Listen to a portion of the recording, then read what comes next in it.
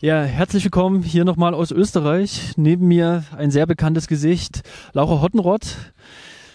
Du bist hier sehr spontan an die Startlinie gegangen und gekommen und ähm, weil eigentlich so ein Rhythmus, du bist in Endstädte gelaufen, das liegt jetzt fünf Wochen zurück und dann kam sehr kurzfristig die Entscheidung und jetzt bist du auch tatsächlich hier. Wie kam es dazu und was hat dich da bewogen, hier nochmal zu versuchen, auch die, die Olympia-Quali anzugehen? Ja, ähm, also erstmal zur Endschede, da war, ja, war ich im Ziel erstmal überglücklich, fünf Minuten PB gelaufen zu sein und die Olympianorm so deutlich zu unterbieten. Aber ja, schon so ein paar Nächte später kam dann so das Gefühl auf, okay, was wäre wenn? Weil zu dem dritten Platz im deutschen Team haben mir ja dann eine Minute und sieben Sekunden gefehlt. Und im Rennen waren halt so ein paar Dinge, die halt nicht so ganz optimal liefen. Also hinten raus hatte ich ein bisschen ein muskuläres Problem bekommen und ähm, ja, dann war das mit dem Pacer ein bisschen unglücklich gelaufen, dass ich ja dann am Ende alleine da stand. Und dann, ich glaube, das kennt jeder Läufer, dann denkt man sich so, okay, diese eine Minute und sieben Sekunden von dem Kindheitstraum Olympia trennen mich jetzt und mal abwarten, wie die nächsten Wochen so laufen ähm, im Training und wie die Erholung läuft. Das kann man ja nicht vorher so wissen. Also ich habe da auch keine Erfahrung. Aber dann ähm, ja, habe ich gemeinsam mit meinem Vater ähm, also im Training dann geschaut, wie es ging. Und ich hatte jetzt ähm, nochmal einen 30er, der war sehr gut, auch besser als vor Endschede äh, vor zwei Wochen. Und dann noch eine gute Trainingseinheit. Und dann haben wir gesehen, okay, der S7-Marathon kann man mal einen Blick drauf werfen. Mhm. und ja, dann wollten wir halt erstmal abwarten, wie die Bedingungen überhaupt hier sind. Es hätte ja sein können, auch dass jetzt hier total heiß wird, also war ja erst das Gegenteil. ähm, dann wäre das nichts geworden, aber dann haben wir uns ziemlich kurzfristig am ähm, Dienstag dann definitiv entschieden und sind hier runtergefahren. Und ja, jetzt, ähm, ich meine, du fragst wahrscheinlich noch zum Rennen, aber ja, vorher habe ich mich auf jeden Fall von den fünf Wochen erholt gefühlt und ähm, hatte auch ein sehr gutes Gefühl im Rennen. Ich würde nochmal zurückgehen, Enschede, weil äh, du bist ja sehr, sehr stark angegangen, ja, mit, mit Kader äh, Heinig zusammen in der Gruppe, Steinruck, Entschuldigung. ähm, und, und ihr wart auf 226 Kurs, ja, und das sah ja unglaublich souverän aus und du bist ja gut mitgekommen und dann hinten raus hast du dann schon die, die Federn gelassen. Das heißt, wärst du dort wahrscheinlich auch ein Ticken langsamer, wärst vielleicht auch Richtung 227 gegangen oder was, was denkst du? Ja, also ich wollte schon so anlaufen, muss ich ehrlich sagen. Ähm, habe mich auch gut gefühlt, bis also dann so von der Atmung her, vom Herzschlag her war es jetzt auch nicht, dass es ich überanstrengend war, aber so die ähm, Oberschenkelinnenseite ist zugegangen bei 32, 33 und habe dann abreißen lassen. Und dann war es ja so, dass Simon und ähm, Steffen sind bei Cutter geblieben. Ein Pacer von NN ist mit mir zurückgefallen. Dann kam Rabea von hinten. Dann ist der Pacer nur leider, als ein Motorrad kam ähm, vom NN-Team, was dem gesagt hat, irgendwie, er soll jetzt zu Rabea wechseln. Und dann meinte er, sorry Laura. Und dann war I was like, uh, please wait. And he was, no, I can't. Und dann war ich halt ganz allein auf der Strecke. Ja. Und ich muss dann auch sagen, ich habe mich dann vielleicht auch ein bisschen hängen lassen. Mhm. So am Ende, als ich mich dann die Uhr gesehen habe, die getickt hat, äh, dann konnte ich auch nochmal mich mobilisieren so. Mhm.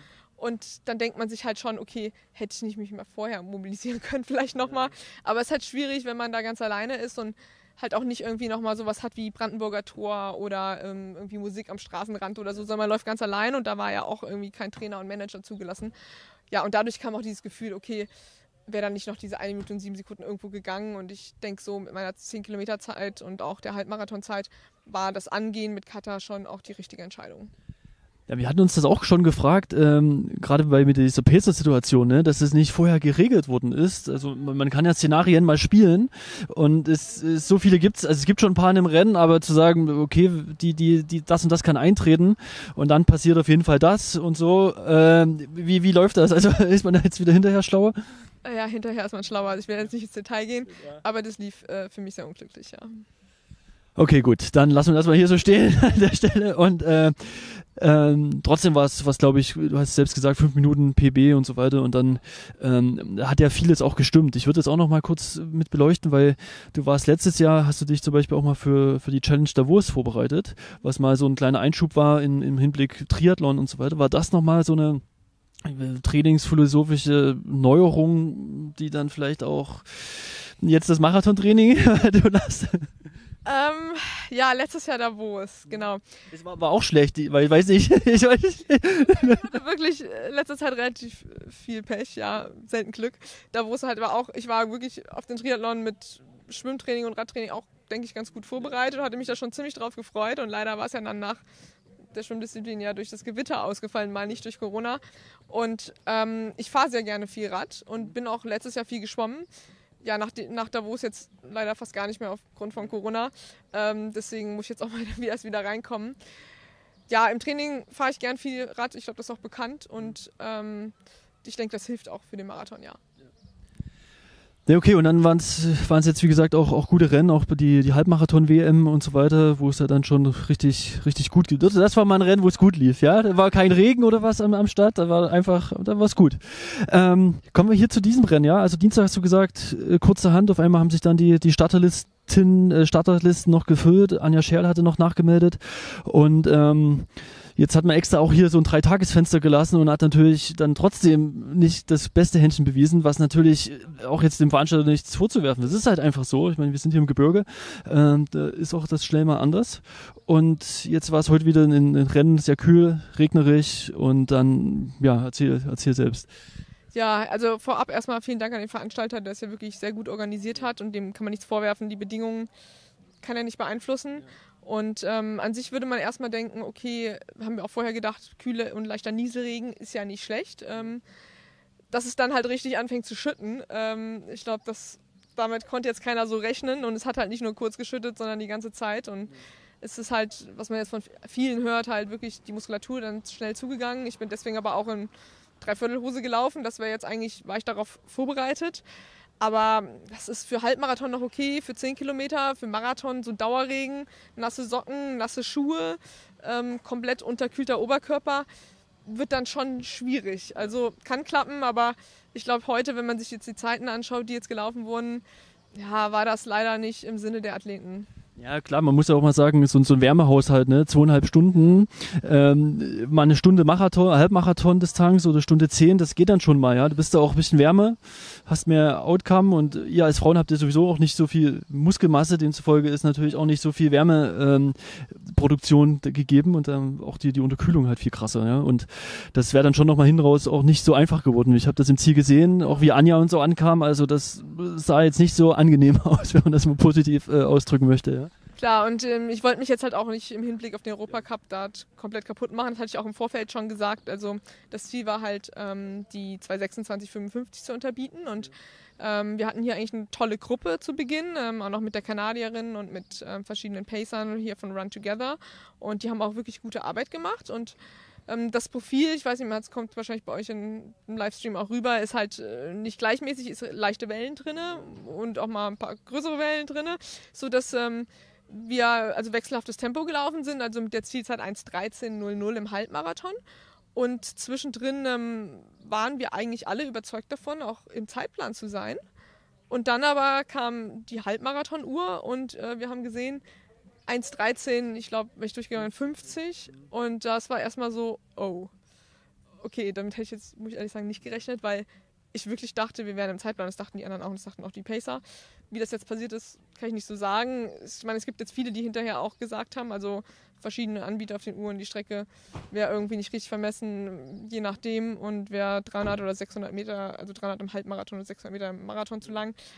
Ähm, ja, weiß ich nicht, aber ich meine, die Pacer haben sich einen guten Job gemacht. Wir waren bei Halbmarathon zu langsam und 1,1350 oder 54, glaube ich, dann mal zwei, habe ich mir dann die nächsten Kilometer überlegt, okay, entweder werde ich jetzt schneller was ich jetzt aber bei diesen Bedingungen mit dem Regen und der immer kälter werdenden Muskulatur bezweifle. Und dann macht es halt keinen Sinn, weiterzulaufen, ja. Ich denke schon, die, die Strecke wird schon exakt vermessen gewesen sein. Auch, auch in Thais hat eine neue Bestzeit aufgestellt, ja. Und dann wäre es ja nochmal krasser gewesen. Also ich, ich glaube, der ist aber in guter Form. ja, der war auch in, in Dresden zum Beispiel, hat er auch vorher, äh, ich glaube, irgendwie Lebensmittelvergiftung oder sowas gehabt. Aber ich meine, das spricht ja schon dafür, dass das ähm, Bestzeiten aufgestellt worden sind. Es gibt Olympia-Qualifikationszeiten, hier war gerade auch die Tschechin und die Kasachin und so, die dort auch das erste Mal unter 2,30 gelaufen sind. Also ja, und, und GPS, du weißt selbst, GPS ist, ist, ist, ist eine, eine Orientierung hin und wieder. Okay, also ich gehe davon aus, mit so viel Aufwand, und das ist ja hier wirklich top organisiert, auch wenn man das drumherum äh, betrachtet, ähm, Hotel, Athletenhotel und, und ähm, Corona-Situation, wie das gemanagt wurde, die ganzen Shuttle-Geschichten und so weiter, dass dann auch die Strecke ordentlich vermessen wurde. Ja, also dem, äh, wie gesagt, die Veranstaltung war wirklich sonst super organisiert und da auch vielen Dank an den Veranstalter. Also wirklich ja, die Bedingungen konnte er nicht beeinflussen und sonst hat er wirklich in der kurzen Zeit ähm, hier eine tolle Veranstaltung auf die Beine gestellt. Eine Frage hätte ich noch und oder ja, ähm, gerade weil jetzt die die 2:26:55 ist natürlich die Zeit von Rabea, äh, nee von von von von von Debbie Schöneborn. Äh, Rabea war auch nur sieben Sekunden langsamer, aber das da die galt zu zu schlagen ganz ist ja sportliche Wettstreit, das ist eben so, ähm, dass die Qualifikationszeiträume auch so lang sind. Ähm, jetzt für dich vielleicht gut, wenn das ausgegangen wäre, aber für diejenigen, die natürlich qualifiziert sind, irgendwie auch doof. Und jetzt sind sie ja auch gar nicht mehr so, weiß nicht, wie viele Wochen bis zum Olympiamarathon, das wäre gar nicht mehr viel, ne? Ja, also klar, ähm, wenn es jetzt für mich geklappt hätte heute hier unter ähm, optimalen Bedingungen, dann hätte ich mich natürlich darüber gefreut. Aber ich denke, im Sinne für ein gutes Olympia abschneiden, ähm, würde ich es auch gut heißen, wenn der Zeitraum für die Olympia-Quali verkürzt werden würde, ja. ähm, so dass dann irgendwie im April mit zum Beispiel der deutschen Meisterschaft, wo am besten auch noch alle dann antreten, genau. dann Schluss ist ähm, oder man so ein Trial-System macht, das würde ich auch befürworten, schon seit langem. Ähm, und dann gibt es auch dieses ganze Theater nicht, dass jetzt ja, die Plätze bis zuletzt so ungewiss sind. Ich meine, es macht es für den Zuschauer vielleicht spannend, für die Athleten macht es das ganz schön stressig. Ja, aber irgendwann ist dann auch mal gut, ne? Irgendwie, ich weiß nicht, wie, wie sich Debbie oder so dann fühlt und dann ist dann irgendwie auch immer blöd, wenn man so halb auf dem Schleudersitz ist, gerade wenn man als äh, den, den dritten Platz inne hat. Hendrik ging es ähnlich und so. Das ist ja nicht so angenehm ist, ja. Und finde ich aber gut, Zeitraum zu verkürzen, aber vielleicht kommt das ja. Mal gucken. Ja, also denke ich auch, sind wir mal gespannt. Ich meine, insgesamt ist ja erfreulich, wie viele deutsche Frauen jetzt halt die Olympianorm unterboten haben. Und ich hätte mir selber auch vor einem Jahr nicht erträumt, die Olympianorm zu laufen. Auch wenn das jetzt halt selbst mit einer Minute 28 unter Norm nicht reicht, dann ist das halt so und wir haben ein tolles Team, was zur Olympia fährt. Ja, das ist dann wieder die, die Krux an der Sache, ne? Minute 28 unter der Norm und dann auf einmal reicht's nicht. Und es, es ist eben so, aber es gibt bestimmt noch andere Chancen. Ja. Und nächstes Jahr ist wieder EM und es geht ja immer, immer weiter. Es gibt ja äh, ausreichend sportliche Highlights. Ja, in dem Sinne. Laura, vielen Dank. Äh, und auch wenn, ich meine, Olympia, ja, vier Jahre, aber jetzt sind es ja nur noch drei. Von, schon ein Jahr weniger. Dann vielen Dank. Ja.